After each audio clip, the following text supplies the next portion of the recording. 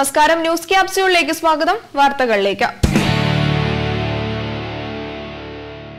Budget സമ്മേളനത്തിന് മുന്നോടിയായി സർവകക്ഷി യോഗം വിളിച്ച് പ്രധാനമന്ത്രി നരേന്ദ്രമോദി. ഈ മാസം മുപ്പതാം തീയതിയാണ് യോഗം. പാർലമെന്റ് സമ്മേളനം ആരംഭിക്കുന്നതിന് മുന്നോടിയായാണ് യോഗം വിളിച്ചിരിക്കുന്നത്.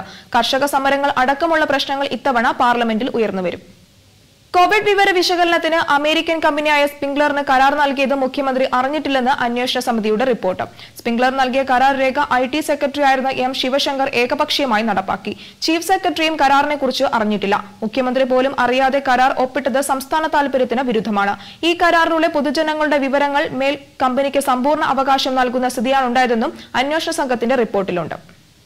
നിയമസഭാ തെരഞ്ഞെടുപ്പ് ഏപ്രിൽ തന്നെ നടക്കുമെന്ന സൂചന ഏപ്രിൽ പതിനഞ്ചിനും മുപ്പതിനും ഇടയിൽ തെരഞ്ഞെടുപ്പ് നടന്നേക്കും. ഒറ്റഘട്ടമായിരിക്കും തെരഞ്ഞെടുപ്പ് നടക്കുക. മുഖ്യ തെരഞ്ഞെടുപ്പ് ഓഫീസർ ഇക്കാര്യം തെരഞ്ഞെടുപ്പ് കമ്മീഷണറെ അറിയിച്ചിട്ടുണ്ട്.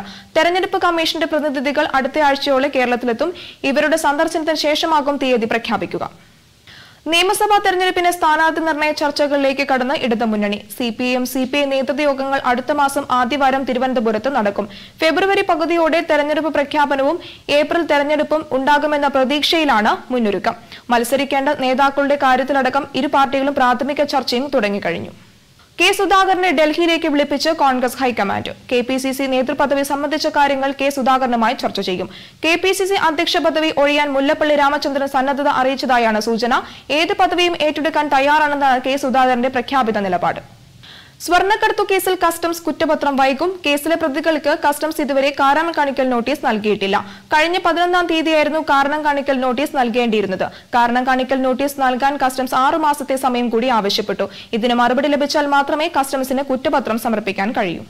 തിരുവനന്തപുരം വിമാനത്താവള നടത്തിപ്പ് അദാനി എന്റർപ്രൈസസിന് കൈമാറുന്നതിനുള്ള തീരുമാനത്തിനെതിരെ ഹർജിയിൽ തിങ്കളാഴ്ച തന്നെ പരിഗണിക്കണമെന്ന് കേരളം സുപ്രീം കോടതിയോട് ആവശ്യപ്പെട്ടു. തിങ്കളാഴ്ച പരിഗണിക്കുന്ന കേസുകളുടെ പട്ടികയിൽ നിന്ന് ഹർജി ഒഴിവാക്കരുതെന്ന് ആവശ്യപ്പെട്ട് സംസ്ഥാന സർക്കാർ സുപ്രീം കോടതി രജിസ്ട്രാർക്ക് കത്ത് നൽകി. വിമാനത്താവളത്തിന്റെ നടത്തിപ്പ് കരാർ അദാനി ഗ്രൂപ്പുമായി ഒപ്പുവെച്ച എയർപോർട്ട് അതോറിറ്റിയുടെ അറിയിപ്പിന് പിന്നാലെയാണ് സംസ്ഥാന സർക്കാരിന്റെ നീക്കം. കേന്ദ്ര സർക്കാരും കർഷക സംഘടനകളുമായുള്ള പത്താം വട്ട ചർച്ച ഇന്ന് നടക്കും. ഉച്ചയ്ക്ക് രണ്ടിന് ഡൽഹിയിലെ വിജ്ഞാൻ ഭവനിലാണ് ചർച്ച നടക്കുക. റിപ്പബ്ലിക് ദിനത്തിലെ ട്രാക്ടർ റാലി തടയണമെന്ന ഡൽഹി പോലീസിന്റെ ഹർജി സുപ്രീം കോടതി ഇന്ന് പരിഗണിക്കും. കർഷക നിയമങ്ങൾ പിൻവലിക്കണമെന്ന് കർഷക സംഘടനകൾ പറയുമ്പോൾ ഭേദഗതിയെക്കുറിച്ച് മാത്രം ചർച്ച ചെയ്യാമെന്ന് കേന്ദ്ര സർക്കാർ അറിയിക്കുന്നുണ്ട്. ഈ നിലപാടുകൾ ഇരുപക്ഷം ഉറച്ചു നിന്നാൽ പ്രശ്നപരിഹാരം ഉണ്ടാകില്ല. ഗുജറാത്തിൽ ഡ്രാഗൺ ഫ്രൂട്ടിന്റെ പേര് മാറ്റി കമലം എന്ന പേരിലാണ് ഇനി മുതൽ ഡ്രാഗൺ ഫ്രൂട്ട് അറിയപ്പെടുക. മുഖ്യമന്ത്രി വിജയ് രൂപാണിയാണ് വിവരം അറിയിച്ചത്.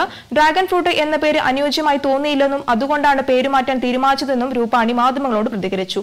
പേരുമാറ്റുന്നതിന് പിന്നിൽ രാഷ്ട്രീയ കാരണങ്ങൾ ഇല്ലെന്നും അദ്ദേഹം പറഞ്ഞു. സംസ്ഥാനത്ത് സ്വർണവില പവന് നൂറ്റി ഇരുപത് രൂപ കൂടി മുപ്പത്തി ആറായിരത്തി അറുന്നൂറ്റി നാൽപ്പത് രൂപയായി. ഗ്രാമിന് പതിനഞ്ച് രൂപ വർദ്ധിച്ച് നാലായിരത്തി അഞ്ഞൂറ്റി എൺപത് രൂപയായി. മുപ്പത്തി ആറായിരത്തി അഞ്ഞൂറ്റി ഇരുപത് രൂപയായിരുന്നു കഴിഞ്ഞ ദിവസം പവന്റെ വില.